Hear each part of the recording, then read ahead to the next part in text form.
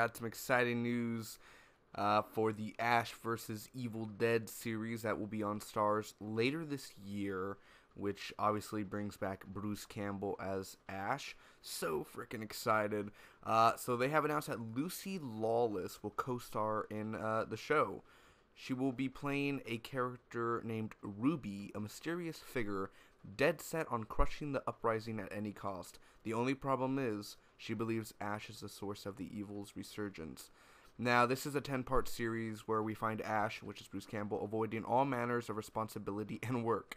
But when the malicious, you know, um, Deadites resurface, Ash must reimburse his destiny as Earth's protector.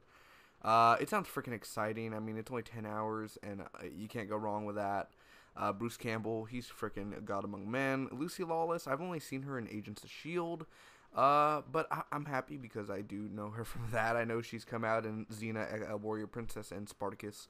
So I know that uh, she she's a badass to the community, and uh, it's always good to have some female badasses. So super excited on that.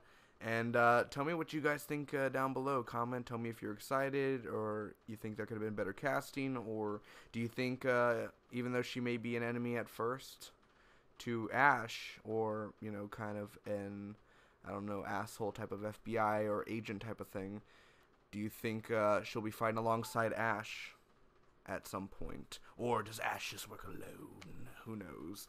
Anyway, hell to the king, baby, and uh yeah, until next time, see y'all soon, and uh, groovy.